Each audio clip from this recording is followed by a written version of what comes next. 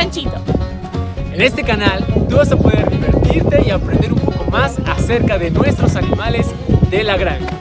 ¿Tendremos retos? Vamos a tener juegos también. Aprenderemos a ser granjero por un día. Y sobre todo, y lo más importante, es que tú vas a poder tener la experiencia de poder estar con nosotros desde tu hogar.